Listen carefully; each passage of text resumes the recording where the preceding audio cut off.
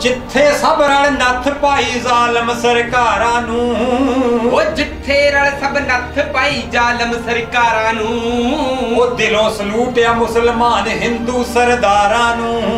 ਏਕੇ ਦੇ ਵਿੱਚ ਬਰਕਤ ਸਭ ਨੂੰ ਹੱਥ ਦਿਖਾ ਦਈਏ। ਹੁਣ ਜਾਤ ਪਾਤ ਦਾ ਹੁਣ ਜਾਤ ਪਾਤ ਦਾ ਦਿਲਾਂ ਚੋਂ ਸਾਰੇ ਕੋੜ ਮਿਟਾ ਦਈਏ।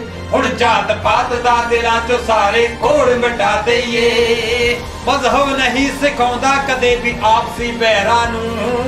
ਮਜਹਬ ਨਹੀਂ ਸਿਖਾਉਂਦਾ ਕਦੇ ਵੀ ਆਪਸੀ ਵੈਰਾਂ ਨੂੰ। ਉਹ ਸਦਾ ਵਸਾਈਏ ਵਿੱਚ ਹਿਰਦੇ ਨੇ ਨਫ਼ਰਤ ਗੈਰਾਂ ਨੂੰ।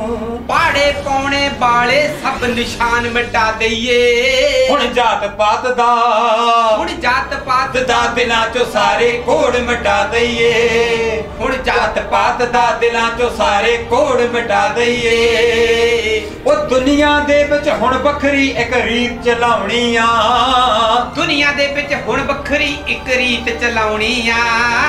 ਰੋਟੀ ਬੇਟੀ ਵਾਲੀ ਸਭ ਨੇ ਸਾਂਝ ਵਧਾਉਣੀ ਆ।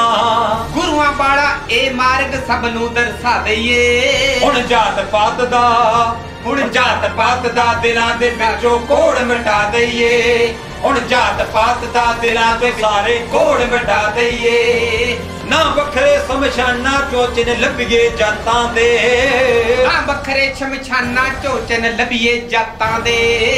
ਹਮ ਸਫਰ ਬਣ ਜਾਓ ਸਭ ਨਵੀਆਂ ਪਰਵਾਤਾਂ ਦੇ।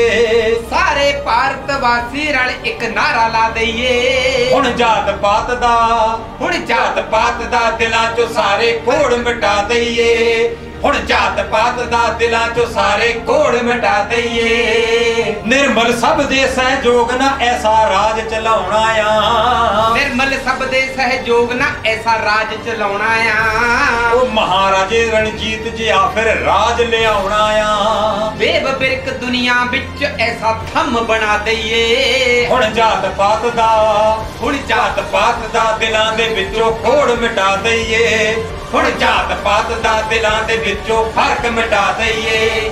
ਹੁਣ ਜਾਤ ਪਾਤ ਦਾ ਭਾਰਤ ਵਿੱਚੋਂ ਕੋਲ ਮਿਟਾ ਦਈਏ।